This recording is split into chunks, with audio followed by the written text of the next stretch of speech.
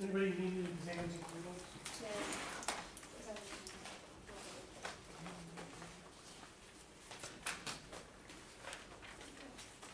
Anybody else? Just two more problems, right? Great. Yeah, I'm gonna review the, uh, one we already did. Okay. So we're like super close.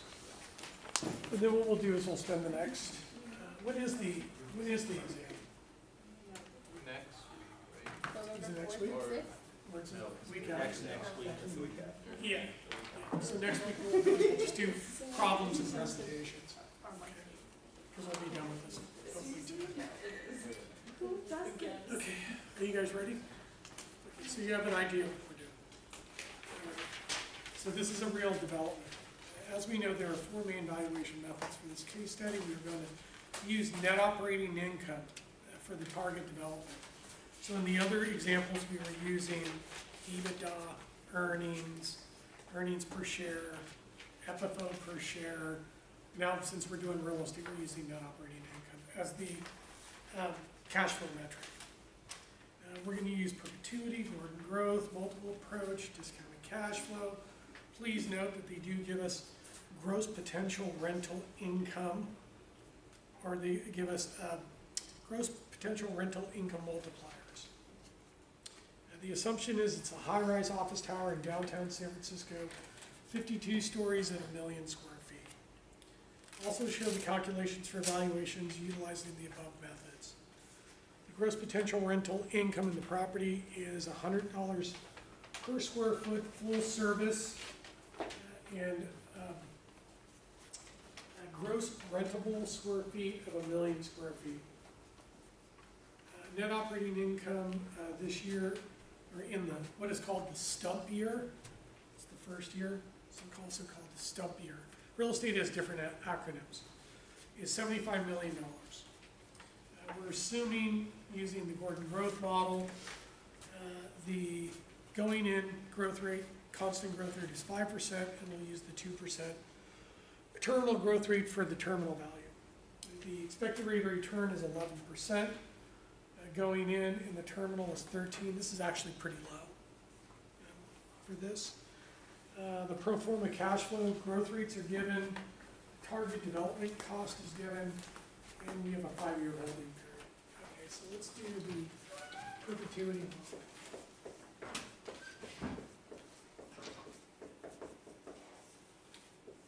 Okay, and how do we do this?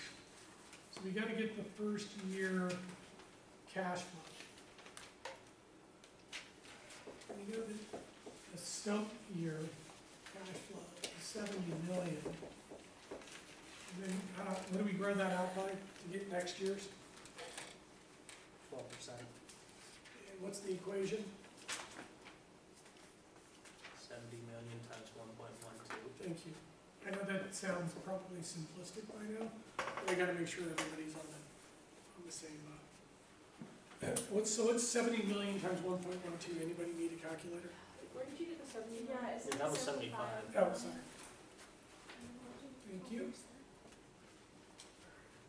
So what's seventy-five million times one point one two? Anybody need a calculator? Eighty-four million. Where'd you get the twelve percent? Yeah.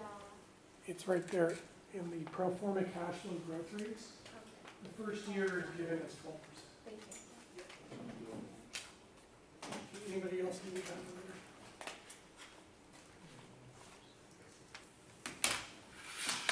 Oops, sorry. So Max, what did you come up with? How much, eighty? Eighty-four. And we got a, uh, expected return of eleven percent, got it. So what's the valuation using the perpetuity model?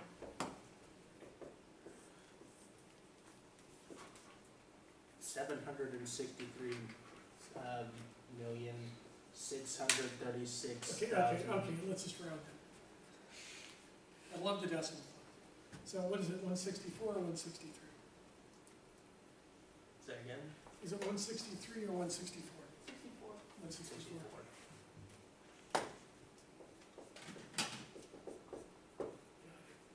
And is uh, perpetuity a good model to use to value this thing?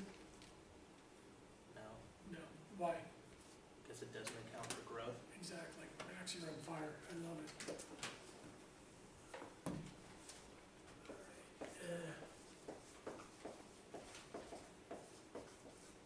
Second one is Gordon growth. What's it also called?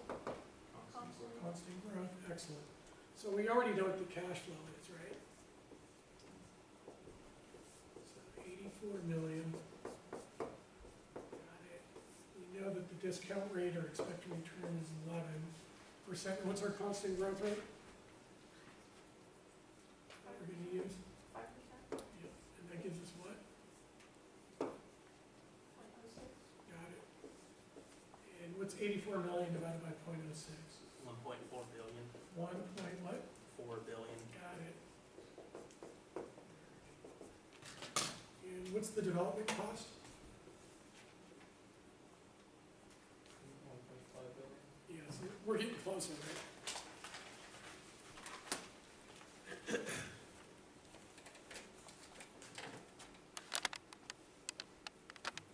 And what's the next model? Yeah. This one's a little bit more difficult.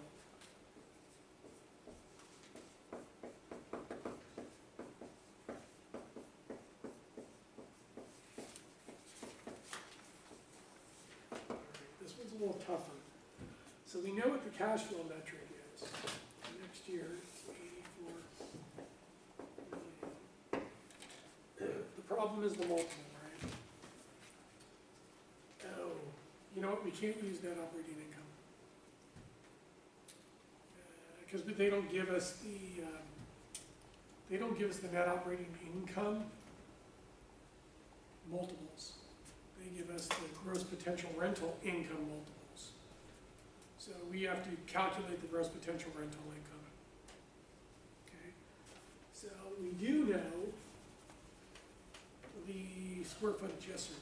that would be one hundred and twelve million. What The gross potential rental income in a year.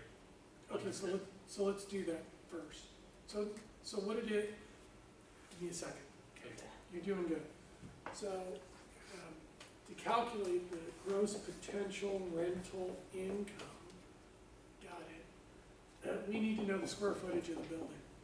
So what's the square footage of the building? One million, Yeah, one million. Got it.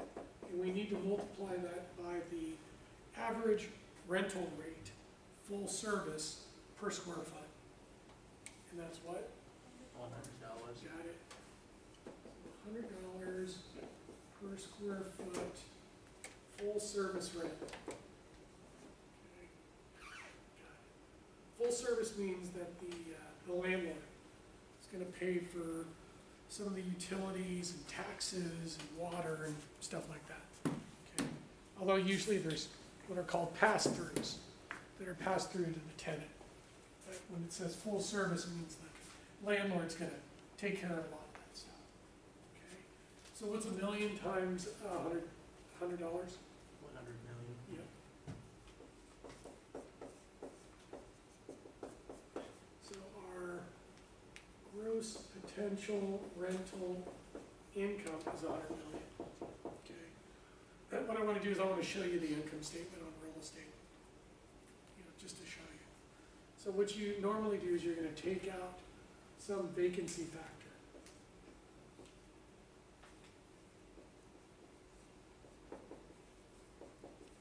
Because not all of the floors, not all the space is gonna be occupied at any given time, so you have to throw in some vacancy, because you're not collecting any rent on the vacant space. And then sometimes the tenants will default on their rent, and you'll actually lose money, uh, because they won't pay. So you have a vacancy, uh, loss factor, and you also have a tenant credit loss factor. And usually in these large office buildings like this, we use a ten percent vacancy rate. Okay, So we'll use ten percent, so what's one hundred million times point 0.1? Ten million. Got it. So you're gonna subtract out ten million.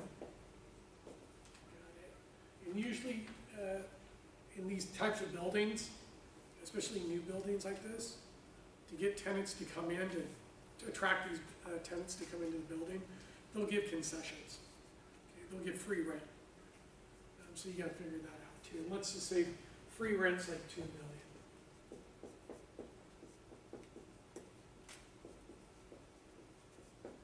Okay, so you're gonna be subtracting twelve million from the hundred million for these.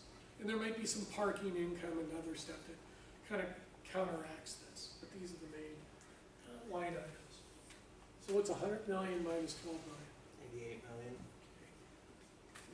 Eighty-eight million of what is called gross effective rental income. Okay, now you need to take out the expenses. Usually the expenses in these large buildings like this, this is a brand new building. So it's not like buying a nineteen sixties building, you're buying a nineteen, what, two thousand eighteen building with all the state-of-the-art, you know, energy efficiency, and glass and steel and concrete, and heating, ventilation, air conditioning systems are all state-of-the-art, so the building's expenses are fairly low from an operating standpoint. But there's other expenses that you're gonna need to incur to run a build, a million square foot building. So, just so that you know, these expenses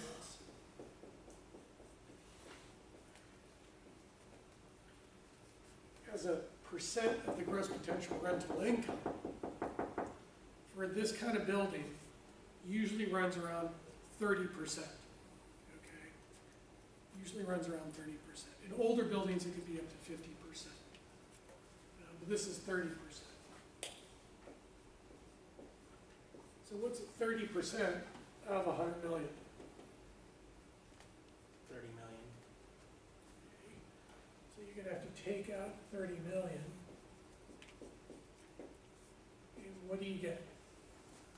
And Fifty-eight That ends up being your net operating income, which is also called NOI. Okay, and what do we get for NOI? Fifty-eight million. So we get fifty-eight million, got it. So then what's this seventy-five million that's given?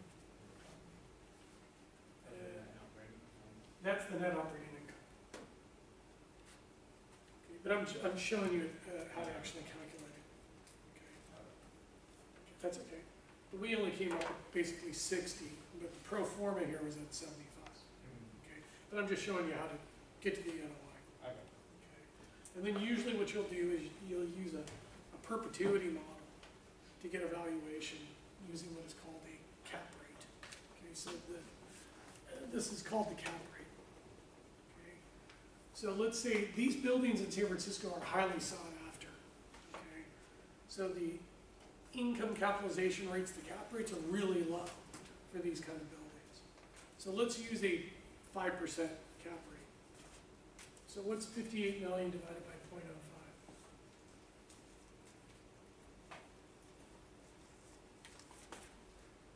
And What do you get? One point one six billion, Yeah. One point what? one six, One point two? yeah. Is that close to this? Yeah. Yeah. Okay. Again, we're kind of getting confirmation, you know, on, uh, on the valuations. So again, uh, you take the gross potential rental income, you take out the vacancy loss and the credit loss, tenant credit loss factors, you know, minus any free rent, and you get the gross effective rental income, then you take out all the expenses. What are some of the expenses? What would be some of the expenses for running a building like this? Utility, Yeah. food, Yeah. Utilities, repair, work. but it's also called CapEx, uh, maintenance. CapEx is like larger items. Um, What else? Utilities, electricity, Trash. exactly, garbage. You think there's a lot of garbage? Yes, There's tons of garbage in these buildings that come out of there. What else? You're running, you're gonna be owning a piece of real estate someday. The amount it takes to buy it. Uh, no, no, no, no, just the, the expenses, Um, just the operating expenses. Like a cleaning service. Uh, yeah, you're definitely gonna need to hire some maintenance people. We'll throw that in maintenance. Anything else? Is this like part of the expenses that they're Yeah. getting? These are all the, these are all of the expenses.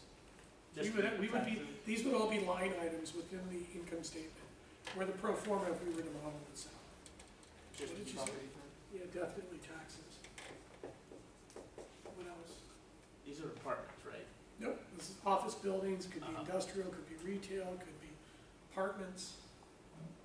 And Running real estate's basically the same. What else? Have we basically been automated yet? I mean, do we, are we, is robots gonna basically run everything? No. No. So are people, do people manage these buildings? Okay, so what is, what's the largest, one of the largest expenses? Landlord. Landlords basically collect everything, Wait, property manager? definitely the managers. Security, Uh, Yeah, so what would that be? What would be the line item? Under expenses, employment, employees or Wages? wages, payroll, laborers, payroll, payroll. Wages, anything else? We got utilities, sewage, garbage, electrical, payroll, taxes, um, capital expenditures, maintenance, maybe parking, maybe. So those are the majority of them, okay? So you take out the expenses, you get the net operating income, you divide the net operating income by the income capitalization rate, or the cap rate, to get the valuation using the income capitalization approach, the value, which basically aligns with, with it here. Cap rate's a little aggressive at five percent, but we're getting kind of, this is like the premier building in San Francisco. State of the art, fully occupied. Everybody wanted to be in it. Nobody wanted to be in 555 Cal anymore, uh, which was the B of A building. Nobody wanted to be in 101 California, which was the state-of-the-art building, you know, built in 1986. Okay, so things have- are changing. New buildings are being built. And tenants want to be in these buildings because they're seismically retrofitted. They're Class A office buildings. Uh, State-of-the-art, the best product ever built. And if you're Salesforce or CBRE, which they're located in that building. Uh, If you're um, the tech companies, or you're a high-profile law firm, or accounting firm, or transportation company, you want to be in the most iconic office building in San Francisco, that's it. Okay? For at least for now. All right, what's the next approach? Oh, we didn't even do the valuation. Okay, so we got the gross potential rental income of 100 million. What are the, uh, what are the multiples? 20, 22, and 24. Got it. So, what's 100 million times 24? Times 22. Times 20. Do you do that in your head? Two billion, Yeah. two point two.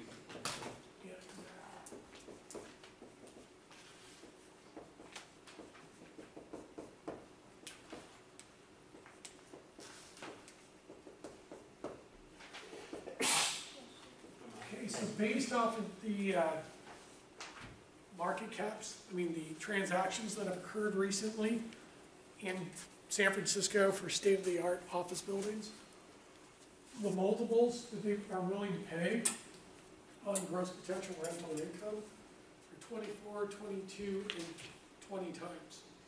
gross potential rental income. So the valuation on this thing is around two point two billion, based on the current economics uh, in the investment sales market. Okay, That's pretty high, right? Yeah. So that calculation, the multiple approach was just based on pro forma. Just based on the pro forma. Um, You slap on the multiples, and you get to some pretty compelling numbers pretty quickly. Uh, What's the fourth approach? discounted cash flow. Yeah, DCF.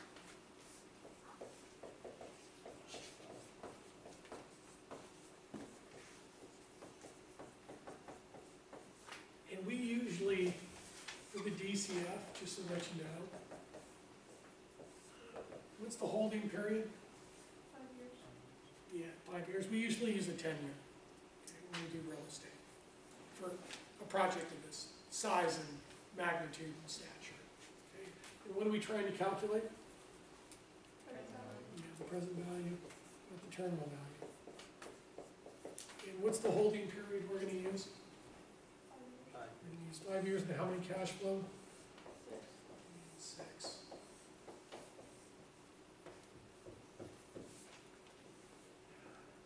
What do we use the six-year for? Present value. Yeah.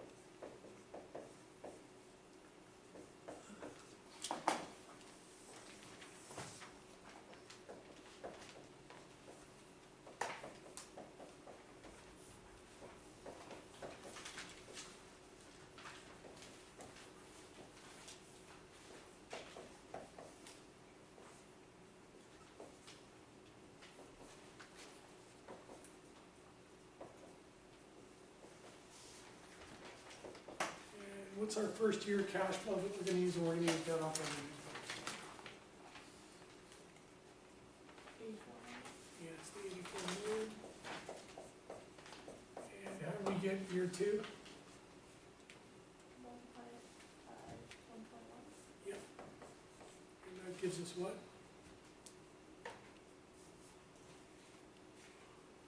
It's eighty-four million times one point one.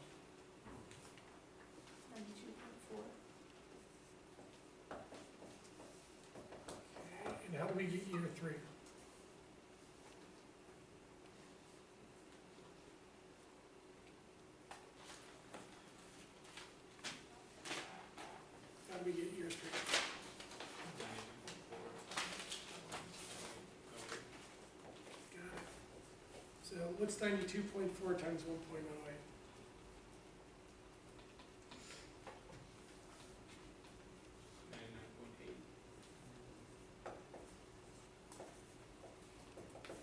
Okay, And how do we get year four? Right, yeah, four, Multiply it by one point zero six. got it. And what's 99.89 times 1.06?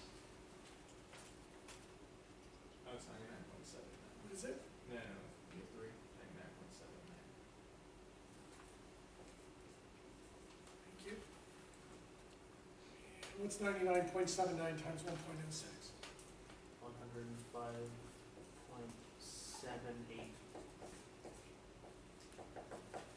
And how do we get year five? Multiply it by one point oh oh zero four. What's 105.78 times 1.04?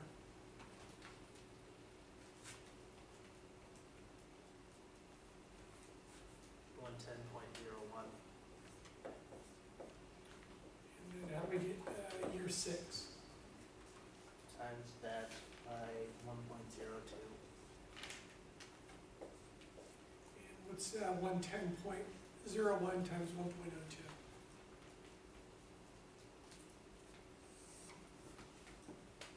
One hundred and twelve point twenty-one. Like that. Uh, Do you think that the, uh, cash flows are gonna remain flat forever, or do you think they'll grow at a constant rate? Yeah, because real estate, real estate leases, real estate leases, I'm a tenant, I wanna occupy some space. I go negotiate with the landlord on how much I'm gonna pay by square foot.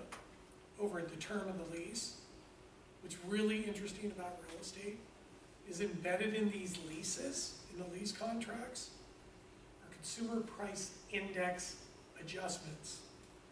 So based on the local CPI, the rent will be adjusted upwards every year based on the local inflation rate. That's what makes real estate amazing.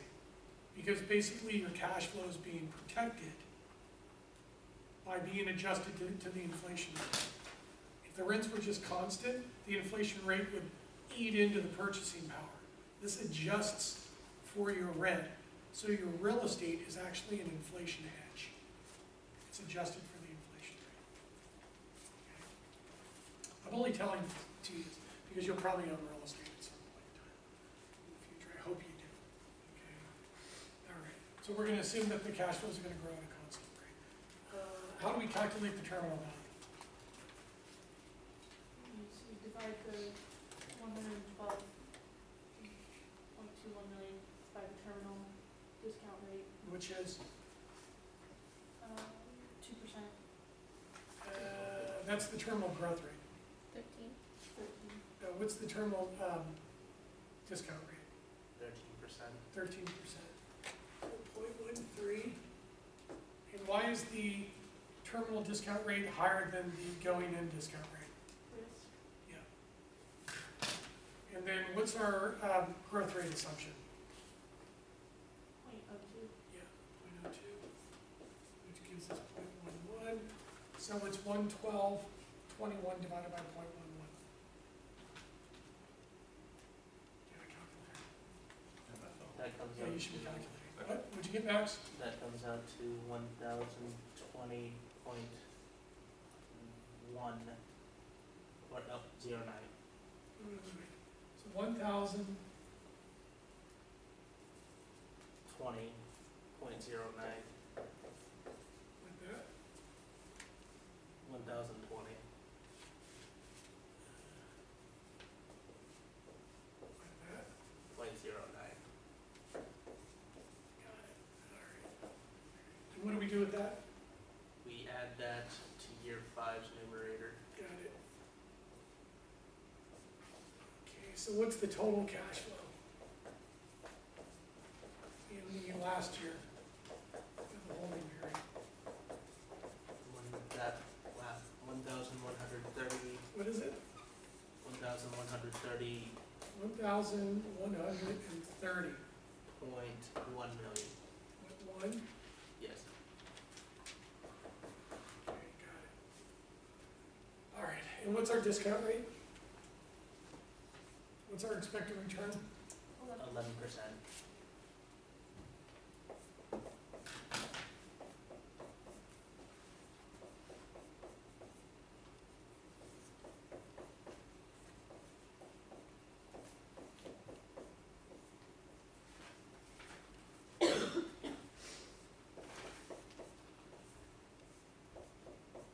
So what's one point one one squared?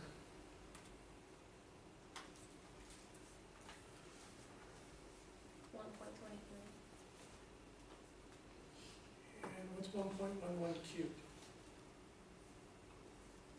One point three seven, And what's one point one one to the fourth? One point five two. And what's one point one one to the fifth? one point six nine,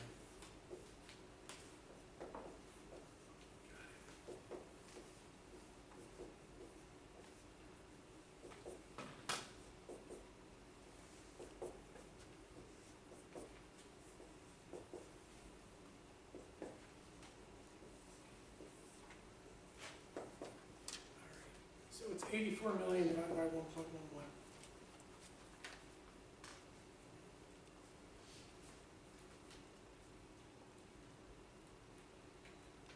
Seventy-five point sixty-eight. And what's ninety-two point four divided by one point two three?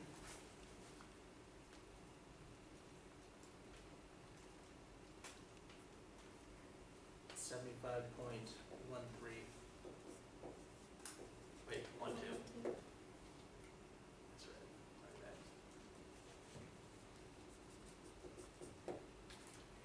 what's ninety-nine point seven nine divided by one point three seven? Seventy-two point eighty-four.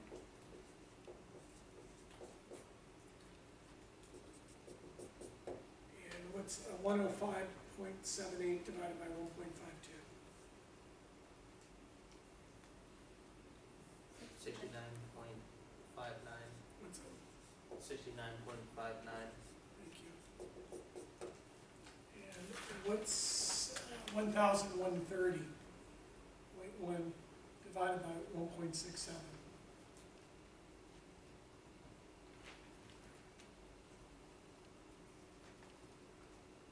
Six hundred sixty-eight What is it? six hundred sixty-eight point seven. Yep. And if we add all these up, what do we get?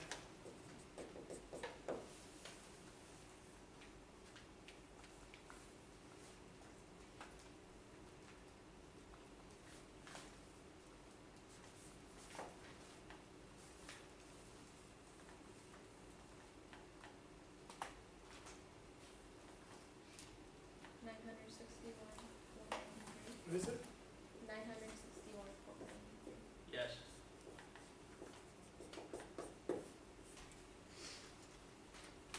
All right. Let's-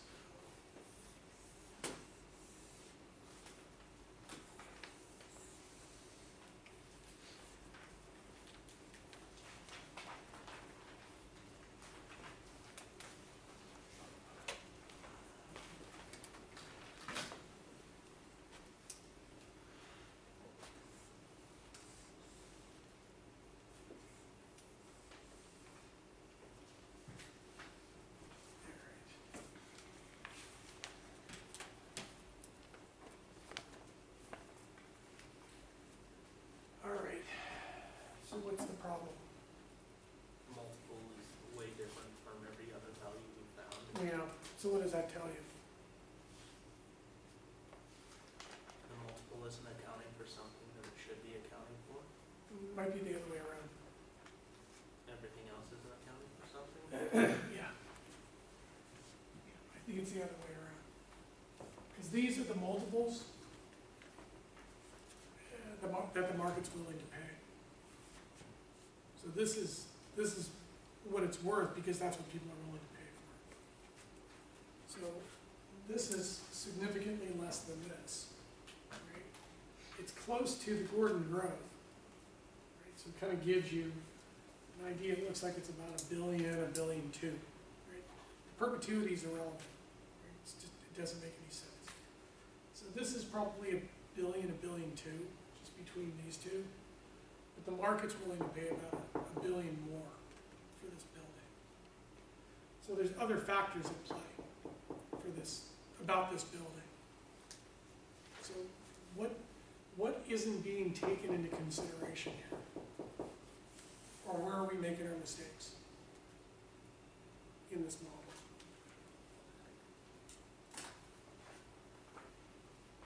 The market's willing to pay more, significantly more than what we're coming up with for the valuation. So where, where are we making our mistakes? Our discount rates. Uh, the discount rates are probably right. So where's the other areas that, where we could be making our mistakes? In this model? The cash flow itself, Uh, yeah, probably the initial cash flows probably, could be too low. The initial, that seventy-five million could be too low, which is making this too low. So your initial cash flow could be too low. What else? Where, where are we probably making our biggest mistake? In this model? Because the market's telling us we're, we're wrong. So where are we probably wrong in our assumptions here? for the discounted cash expected rate of return, Uh, I think the discount rates are okay. So where are we making our mistakes? The growth rates. Yeah. So are the growth rates too low or too high? too low. Low. Too low. So maybe it's not ten percent, maybe it's twenty percent. Maybe it's not eight, maybe it's, you know, maybe it's fifteen. So our, our growth rate assumptions for the pro forma cash flows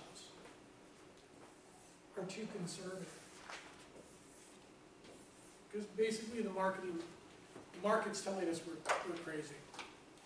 We're, we're being too conservative. Because the market's overpricing it. And they're telling us that we're crazy. Okay. And maybe the, maybe this is too long too.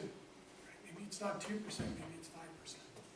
I mean, this is the best building in one of the best locations in San Francisco with a transit center right underneath it in an elevated park. Access to the freeway. In the heart of where most of the new office buildings are being located. So the land itself, we're probably underestimating the land here too. Okay? So we made a mistake. We're being too conservative. All right. And we're saying that the market's willing to pay two point two billion, so it's worth two point two billion, and we're gonna develop this thing, what's the cost of construction? How much is it gonna cost us? One point five billion? And how much is it worth?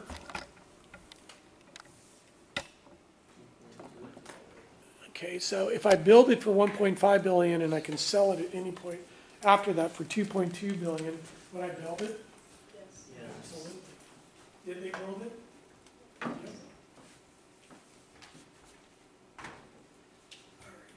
So what's the valuation? What's the intrinsic value?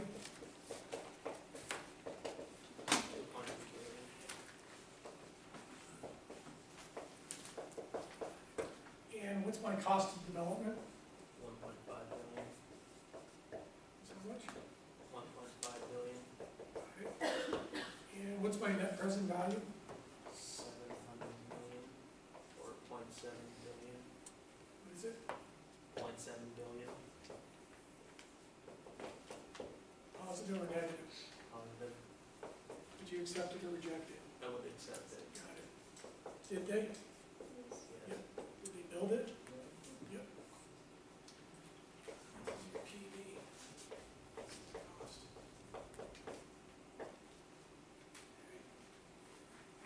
Yeah, We kind of shortchanged the analysis because if you were working on this underwriting, it probably took maybe a year or two to do it. Figure out the land cost, figure out the development cost, all the city infrastructure that we needed to put into the building, how long it was gonna take to construct the building, we had to forecast material prices, uh, negotiate contracts with the unions, uh, we had to negotiate with the city, we had to find tenants to basically pre-lease it so we can get the mortgage, financing, the finance, we had to raise the equity to get the, you know, to get it, then we had to go out and market it and fill it up and go through all that stuff, so it probably took maybe a couple of years just to do the analysis on this. And then probably took another couple of years just to get it permitted. And then probably took another four years, five years to actually get the thing constructed. So how many years is that? And Ten years. So Salesforce Tower took basically ten years to do it. So what if the, what if we turn the economics around? And we, all of a sudden, because of the trade wars and inflation and labor strikes and city becoming liberal and all of these things, then all of a sudden, we updated our estimate of the construction costs. And they came out to be two point five billion. What would be the net present value? 0.3 billion negative. Negative 0.3 billion. Got it. And would we accept or reject it? we would reject it.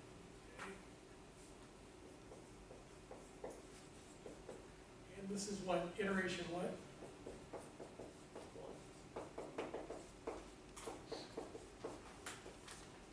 So we're off by what, 300, 300 million? yeah, Okay. On a project of 2.2 billion, 300 million, not that much. So we bet, we might have made some errors in here. So what would we do, if we really want this building, What would be the second iteration?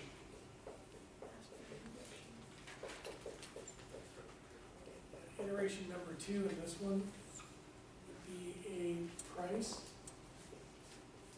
or cost reduction.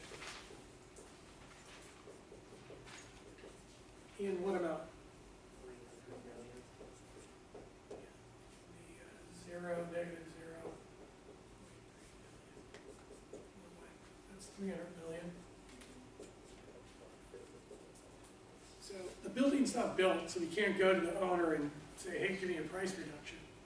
What we can do is we can go back to the city or do the owner of the land and ask for a price reduction in the land. We can go back to the city and ask for, uh, price reductions uh, in the fees. Uh, We can ask for price reductions or subsidies uh, in the infrastructure. Uh, We can go back to the unions and ask for uh, reductions uh, in the labor contracts.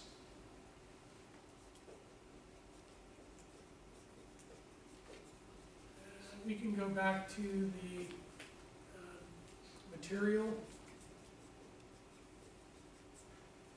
Material providers of the concrete, the steel, the glass, and try to renegotiate the procurement of the materials, construction material. We can go back and see if we can go back and renegotiate all of those items, and see if we can reduce the cost. And what does the cost reduction need to be? What's the total price reduction, cost reduction? It's gonna be three hundred million dollars. And if it's not three hundred million dollars, then we would what? We would have to reject it, Unless it's over three hundred, unless it's over three hundred million.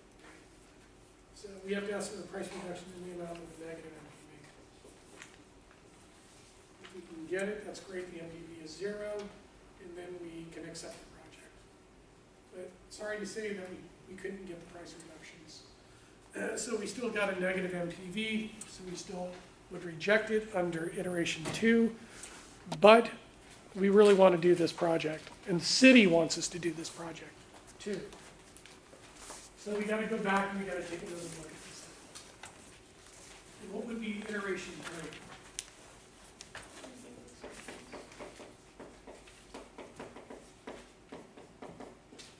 Iteration three would be to review assumptions. Got it. And about the expected returns? The discount rates.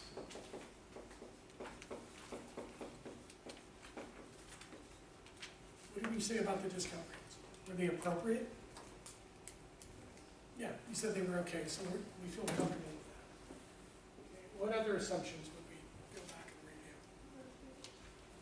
Pro forma growth rates.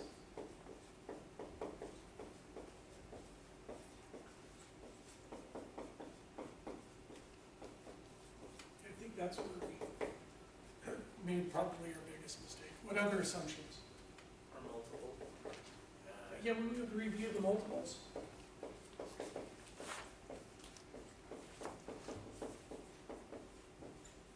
Maybe some new buildings have come out and actually prices have started to come down and the multiples came down. So we might have been using too high multiples. Okay, What else? The initial, um, Yeah.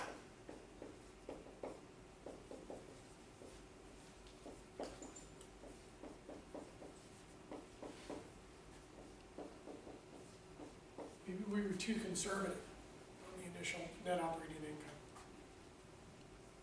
Okay, What else? Uh. Yeah, we might have underestimated.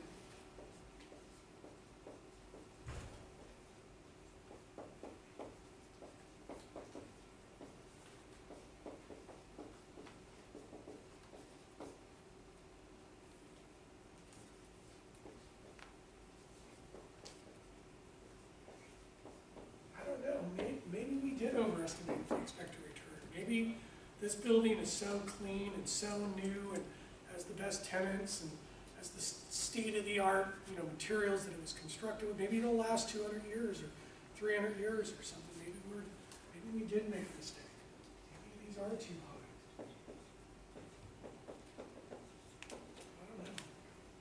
Anything else that you can think of? So we went back and we re-underwrote it, and we still get a negative net present value. So what's our fourth option? What's our fourth iteration? Problem.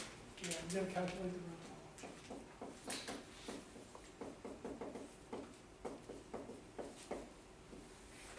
need to calculate uh, the value. of The real call option. And the value of the real call option is gonna be greater than or equal to what? Uh, three hundred million, Yeah, but gi- give me the terminology. uh, the amount of the price. The negative net present value. Got it. And that was what, three hundred million?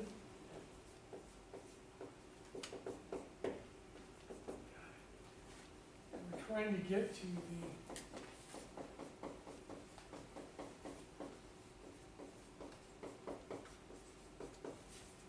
Trying to get to the net, net present value. Got it. So if the value of the what are the two methods of calculating real call options?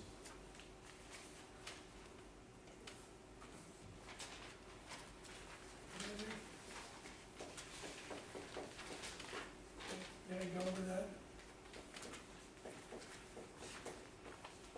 The binomial tree and Black Scholes. Got it. And then what are the, uh, three factors? uh, That drive the majority of the value for real call options? Yeah. Management decisions. What else? Volatil- Volatility. Yeah.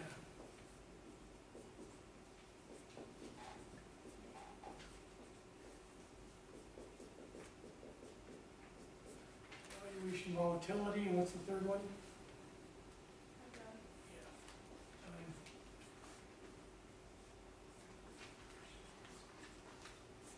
Time. Value was huge in this one, wasn't it? It was ten years. All right. So if the value of the real call option is greater than the negative net present value, then your net net present value is what? The value of the real call option is greater than the negative net present value, then your net net present value is what? positive. Positive, and would you accept it or reject it? you would accept it. And if the value of the real call option is equal to the negative net present value, then your net net present value is what? If the value of the real call option is equal to the negative net present value, You can see that. Then your- net net present value is what? Neutral. Zero, and would you accept or reject? Seven. And if the value of the real call option is less than the negative net present value, then your net net present value is what? Negative. Negative. Would you accept or reject? Reject. So the question is, uh, what was the value of the real call option?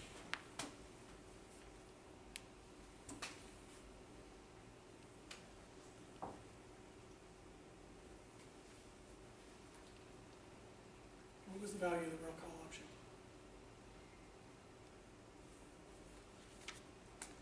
Three hundred million or more.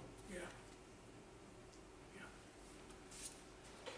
Right, because it's, uh, right, it's gotta be, and what was the, what was it, what was the price? It's- worth two point two billion. Right? So the value of the real call option is what, one point, one point nine? One point nine, we'll just subtract out from the value, the negative net present value, to get the value of the real call option. So the real call option is over a billion dollars. It's over a billion. So basically, the market is saying that the property, this project is worth a lot. And that our models, particularly our discounted cash flow models and the other models, are inferior and incapable of being able to predict the true value of this project because there's so many factors, such as management, valuation volatility, and time that's not being factored into the DCF model. So the real call option value, the real call option for this project is huge. And It's not, and you can't, it's not being reflected in the, uh, in the DCF. That's the problem with the discounted cash flow and the intrinsic valuation? They're very simplistic. And this project has already been built. So whoever built it totally understood that the market, the market was willing to pay significantly more than the cost of development. And the significance, that significant difference between the value and the cost of construction is the, is the real call option value.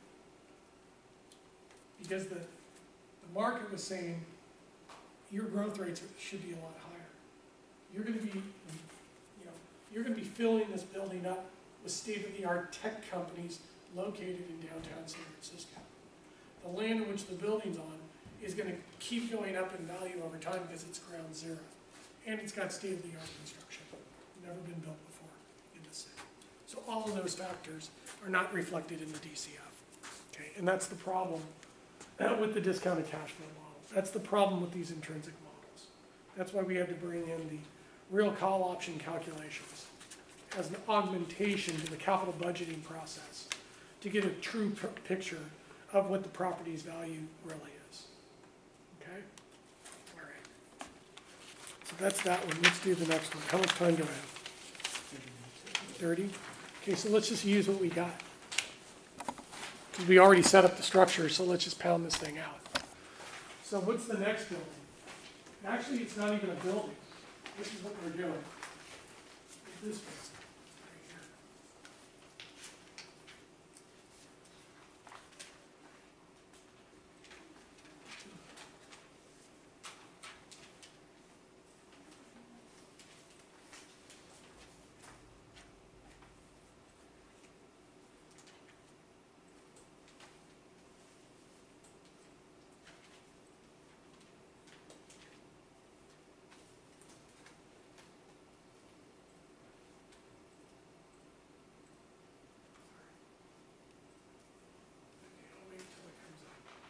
the next one we're doing is Mission Bay.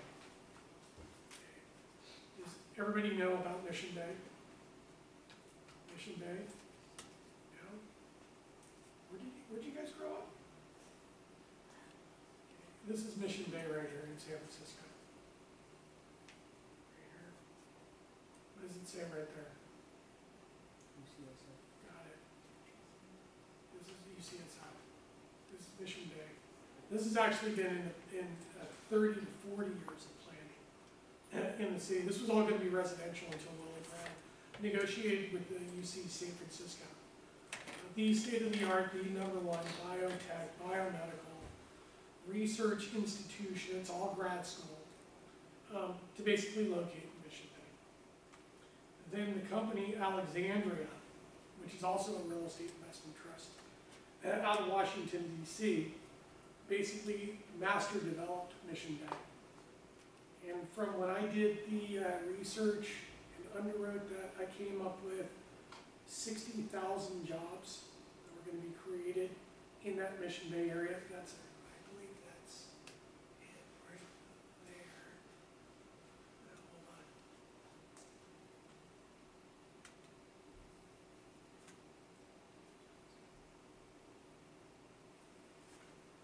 I usually have pictures.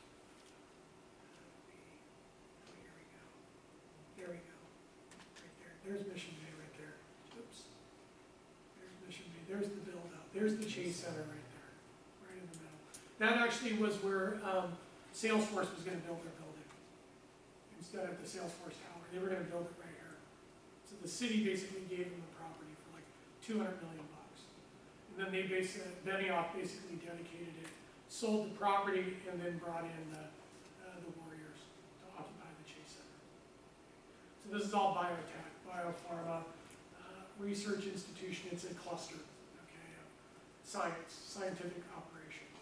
And we are Eastdil Secured, we're the investment banker that was hired uh, by Alexandria to underwrite the uh, Mission Bay project. We do investment banking, we raise equity, we raise debt, we do consulting, uh, we can do the whole capital stack um, to finance these large multi-billion dollar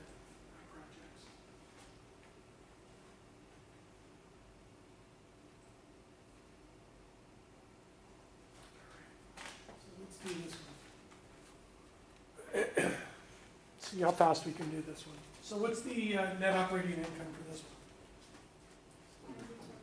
Yeah, we're going to start with 125. Let's see how fast we can do this. And then what's our growth rate in the first year? And it's 125 million times uh, 111.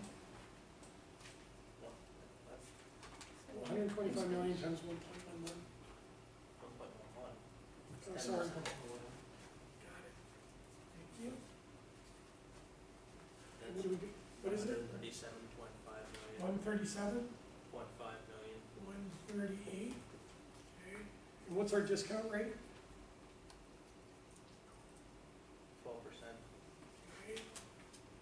What's one thirty-eight divided by point one two?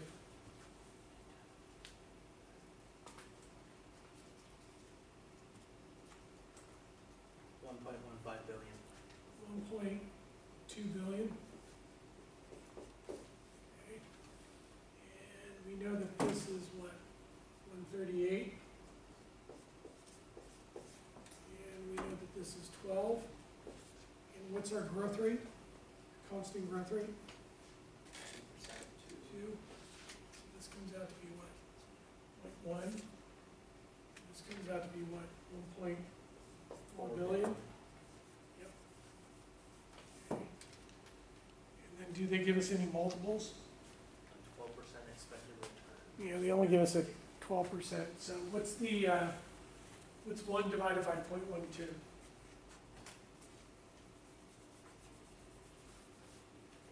Can I manufacture a multiple from the expected return?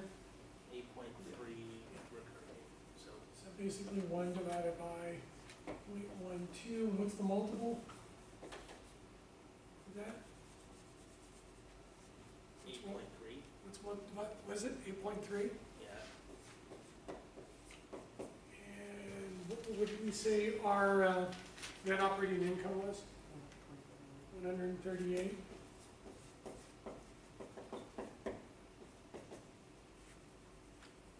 Um, What's up? Yes. It says to use GBRI, Oh, which is shit. one hundred and fifty million. Oh, and they give it to us too. Yeah. So we're gonna use 150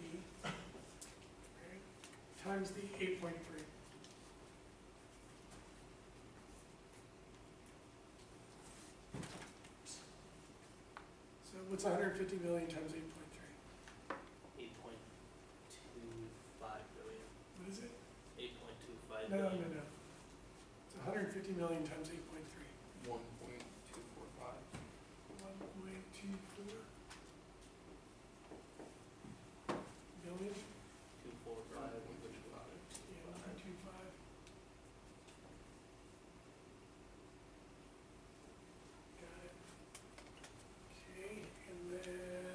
DCF. let's do that.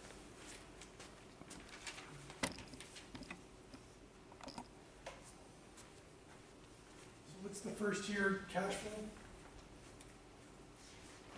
Is it 138? Yes.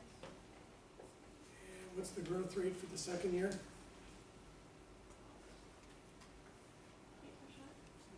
0.08. And what's 138 times 1.08?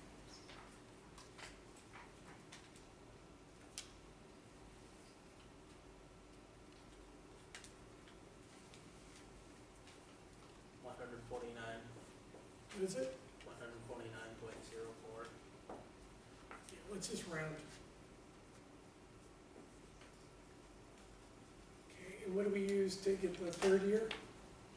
One point zero five, And what's hundred and forty-nine times one point zero five? one hundred fifty-six points four nine. Yeah, just round up. And what do we use to get, uh, year four?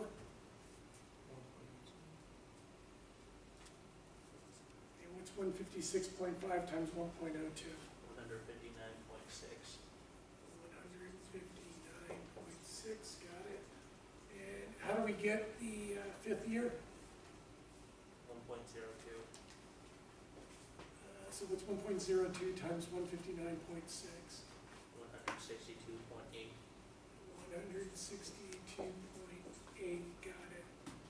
And what's the last year? One point zero one. Got it. So what's one sixty-two point eight times one point zero? One hundred sixty-four point four. One hundred and sixty-four point four. And then what's our terminal discount rate? Fourteen percent. Fourteen. What's our terminal growth rate? One percent. So what's one sixty-four point four divided by, uh, point one three?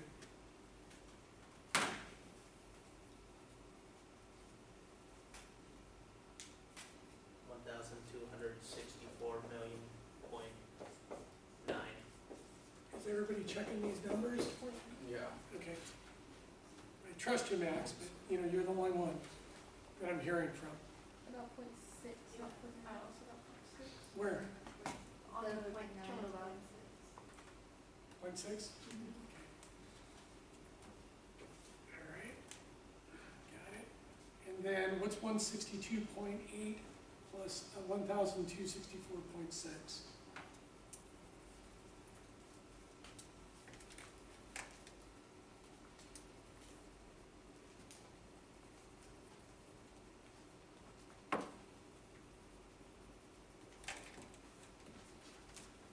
One thousand four hundred twenty-seven point One four. hundred and, Twenty-seven point four. let's just keep it simple. Okay. And then let's do it this way. So what's, um, one point one two to the fifth power?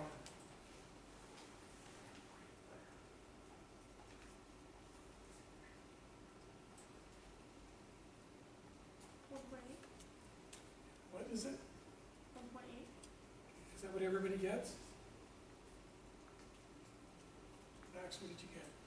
I'm still working on that. Okay, I need, I need some help from some Yes. other people. You can just write down the answers, but I, I need you to be working through this stuff so Yes. you're learning it. I'm not convinced some people uh, know how to do this. They're just writing down the answers. So, is that right? Yes. Roughly. Then what do we do with that? What do we do with this discount factor? We divided by, uh, we divided from one thousand four hundred twenty-seven million. Got it. So what's uh, fourteen twenty-seven divided by one point eight?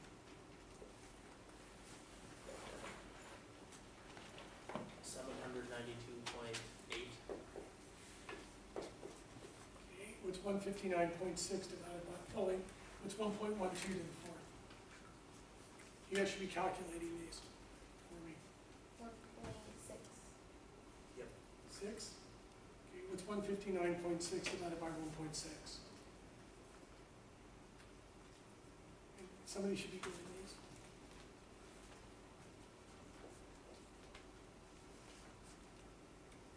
Ninety-nine point eight. And what's one fifty-six point five divided, well, what's one point one two to the cubed? One point four. So what's, uh, one fifty-six point five divided by one point four?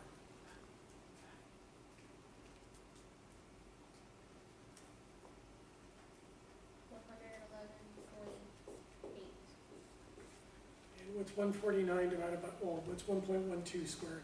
One point two five, And what's one forty-nine divided by one point two five? one nineteen point two,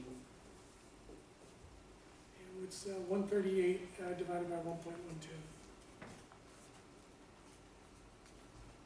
One hundred twenty-three point two. And if you sum all these up, what do you get?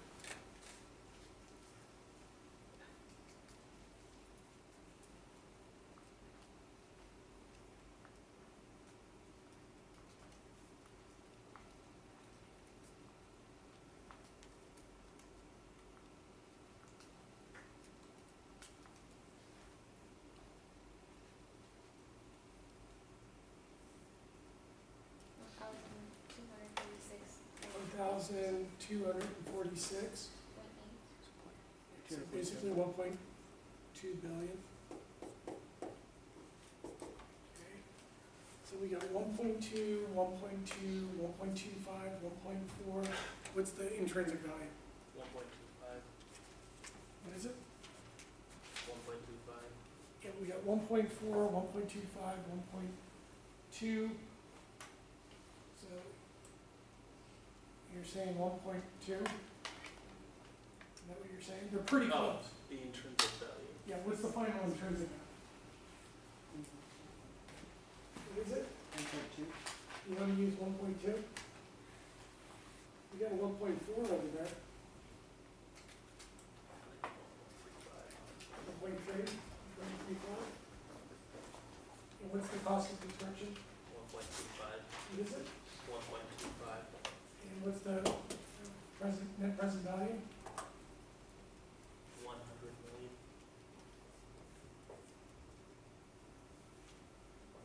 Is it positive or negative? positive, You accept or reject?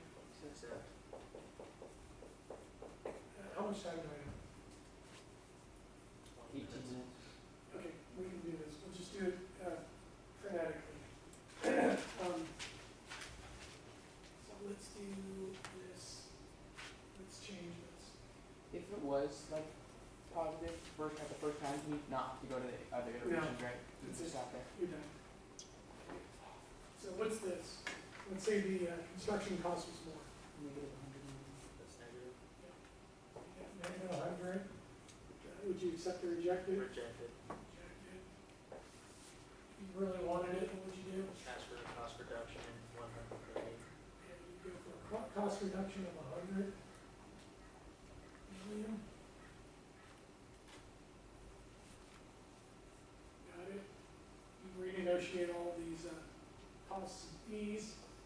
Um, You still get a negative net present value, then what would you do? Oh shit, I forgot to turn the camera on. You guys gotta watch me. People are gonna get lost when they look at this stuff. Okay. All right. So the first iteration, you had a positive one hundred million, so you would accept it. But let's say your costs, you know, go up significantly, and now the cost of construction is one point four five, which means our net present value is negative one hundred million, we projected, we want it. Uh, So now we go to iteration two, we renegotiate all of the costs associated with the development. Um, and need, the cost reductions need to be in the amount of hundred million dollars to get to a net present value of zero. If we can't get the cost reductions of hundred million, then we gotta go to iteration two. Sorry, iteration three.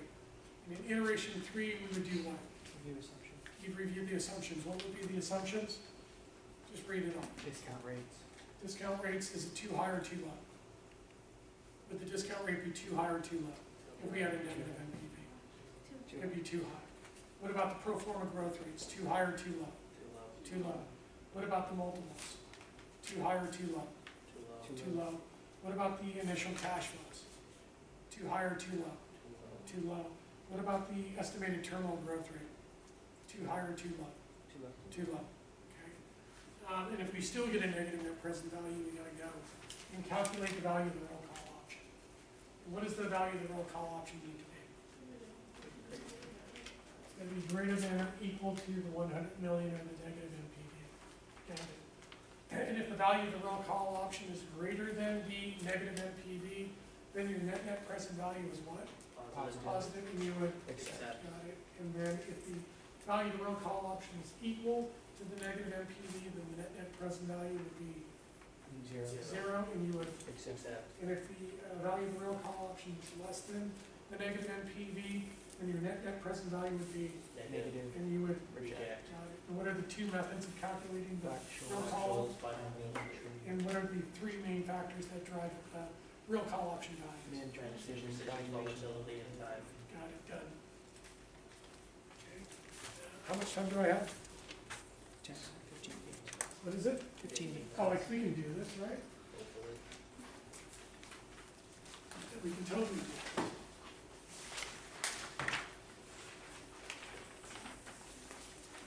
Basically the last question is the first question. Right, we did the investment decision making matrix.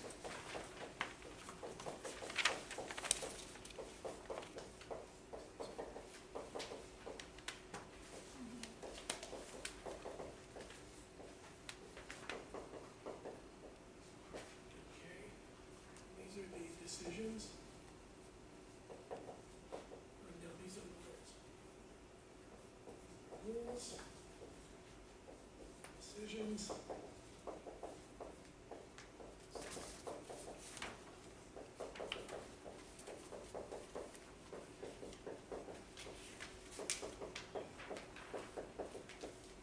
Oh shoot, I'm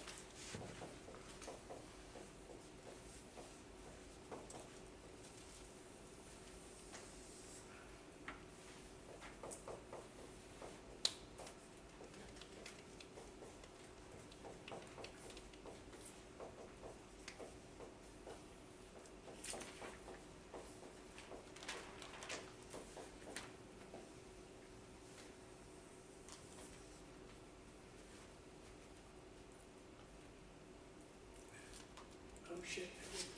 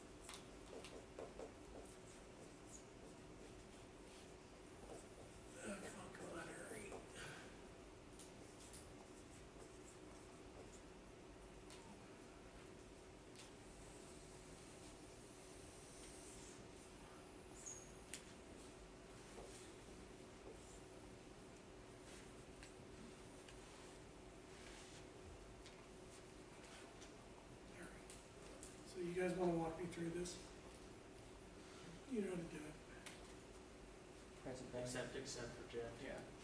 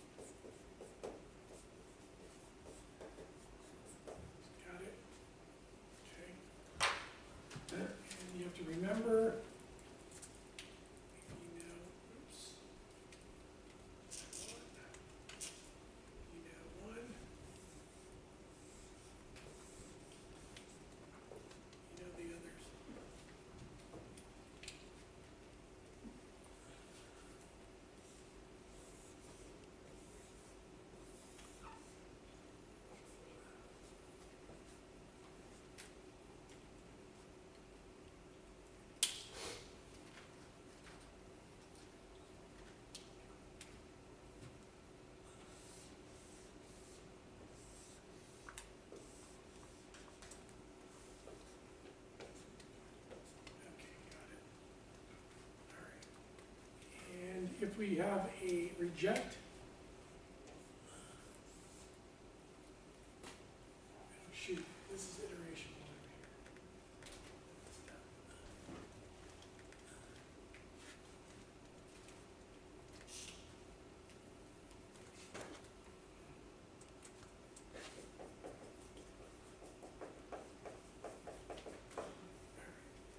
Where would decisions go then? Huh? Are rules and decisions the same? Uh, yeah, so you could say rules and decisions right there. So obviously, if you get on your first iteration, right, it's easy, all right? But if you got a rejection, then what are we gonna do for the second iteration? That's the for price price reduction. reduction. In the amount of, Amount minus N PV.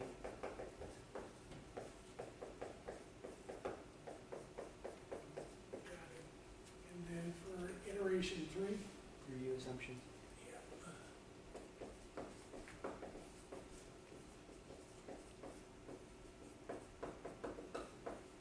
it. And those are what, uh, growth rates? Cash flow.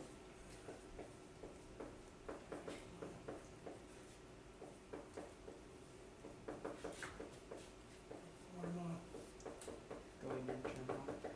initial, discount rates.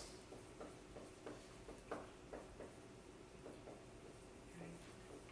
Going in, internal. Also, internal. Going in.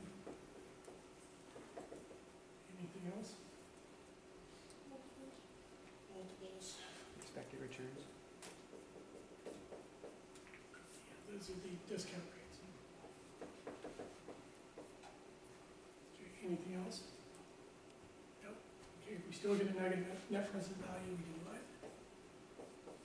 Calculate value of the call option. Value. Option, that needs to be greater than or equal to what? NPV, uh, which basically, uh, we need the net, net present value. If the value the real call option is greater than the negative net present value, then your net, net present value is what? Positive. Positive, and you, Except if it's equal to, zero. Except. net, net, uh, then you accept.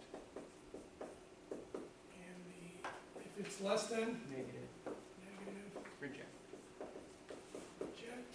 And then the two valuation, uh, two real call option methods.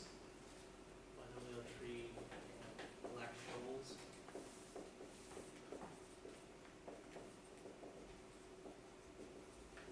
And what are the three factors that drive the value of the real call options? Management decisions, volatility, Time value. jigs.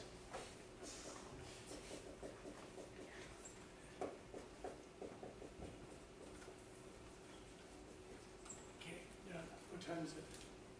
Five minutes fair. Perfect, we're done. You did it. You counted that out.